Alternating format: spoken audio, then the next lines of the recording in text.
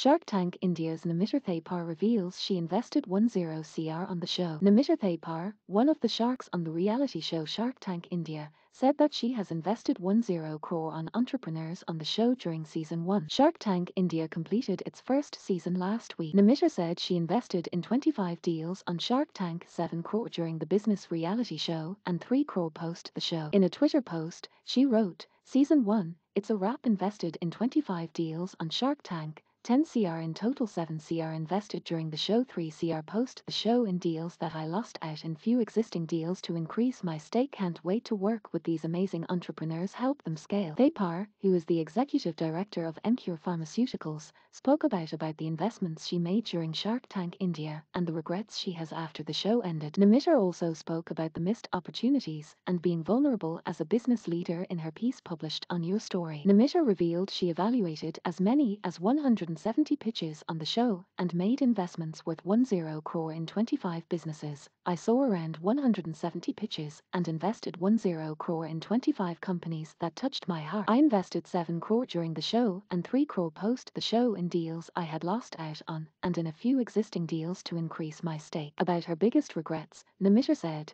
as future leaders we need to champion not just founders who can scale and make money for us but also those who have tremendous potential, are working on a real problem but don't have the right mentorship to gain traction in their business. Jugaadu Kamlesh and Pandurang of agro-tourism were both Maharashtrian farmers out to solve real problems, but due to lack of right guidance hadn't made sales, wrote Namita. She further said, leaders like me need to be bold, back such founders, and ensure they become a success so that entrepreneurship doesn't just become the dream of the ones with the right education and resources, but even of the common man. This is one of our core responsibilities as business leaders who have been blessed with power and privilege, who people look up to. And not investing in Kamlesh and Pandurang remain my biggest regrets at Shark Tank India. Here are Namita's fellow sharks on the show, Ashneer Grover, Lenskart co-founder and CEO Peyush Bansal, Aman Gupta, Vineeta Singh, Ghazal Alagh and Anupam Mittal.